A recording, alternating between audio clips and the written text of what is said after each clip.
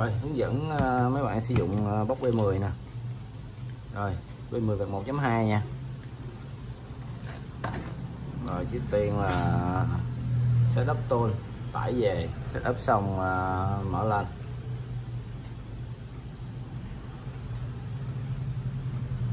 Đây 1.2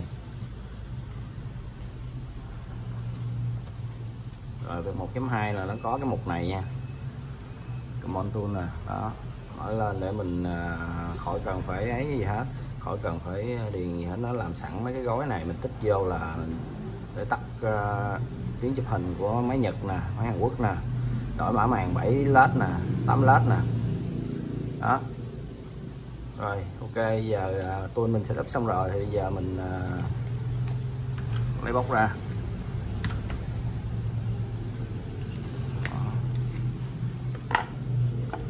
Bóc thì nó có ờ, bóc với cọc cáp này. Rồi mình kết nối bằng cổng ờ, lê tinh cổng cáp lê tinh đây. Gắn vô đây. Đó. Rồi. Để cài driver của cái bóc á. Với update đó trước tiên mà, mà bóc mới về mình mà tải tool về mình phải update. Rồi để cài driver cái bóc. Thì mình à, mở full lên đi.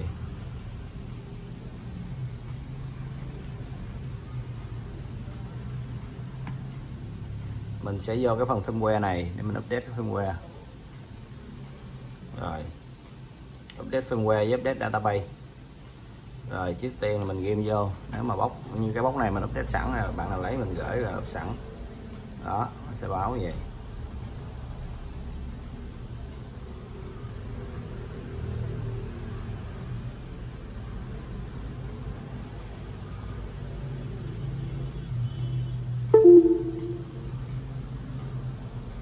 Rồi, tiếp theo là update data- database.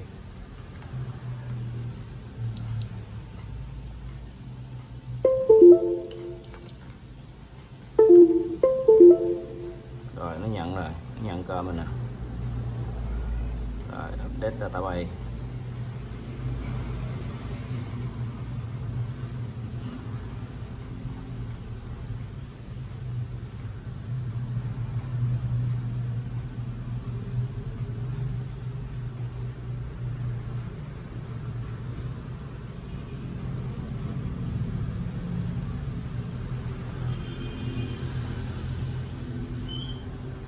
Lúc nào chưa có driver thì cài bằng này nha. Nhấn vô đây cài nha. Nhấn vô đây là nó cài cái driver. Khỏi cần phải search google. Này, nó up hơi lâu nha. Mọi người nên chịu chịu khó chờ. Để nó hoàn chỉnh.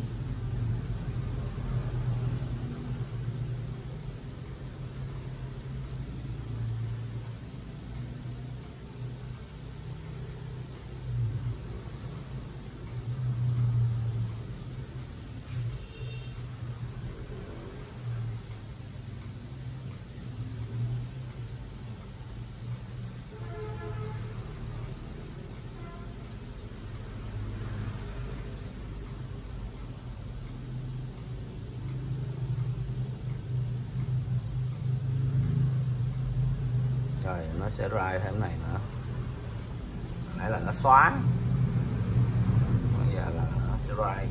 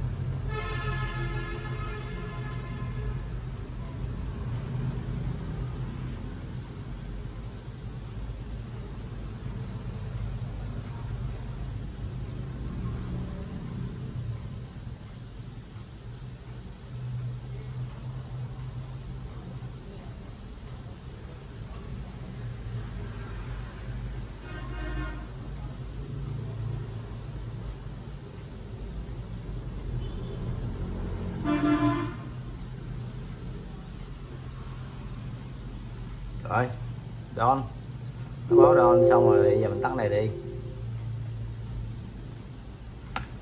Rồi, có thể rút ra gắn lại một lần. Rồi, nó đã nhận cơm bọt nè. Đó. Rồi, bây giờ bà con à, gắn à, cái à, cáp vô. Cáp vô cái đầu này nha. Rồi, bây giờ cái máy mình muốn làm. Bây giờ như cái máy này đi bây giờ mình vô lọc ba nốt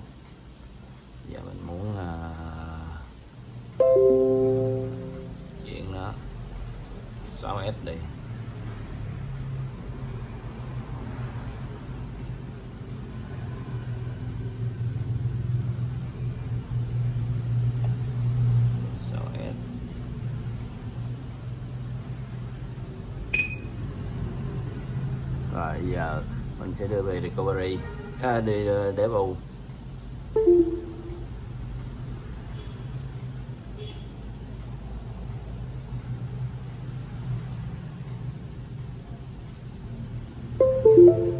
Rồi đây nó nhận để bù mod. Bây giờ nhấn vào đây một cái. Rồi nó tự chạy được.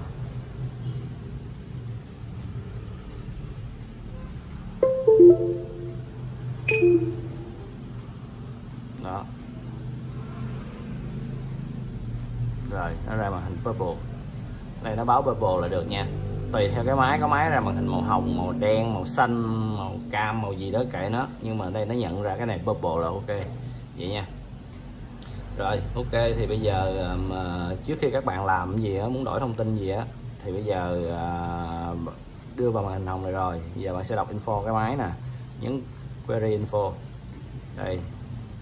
Nó sẽ read info cái máy ra. Nó ra nguyên một loạt thông tin ở đây các bạn muốn đổi cái gì thì mình đổi đó, nhưng mà phải đúng hợp lệ của nó. Thí dụ như cái series nó phải đúng của nó, cái mã nước gì của nó.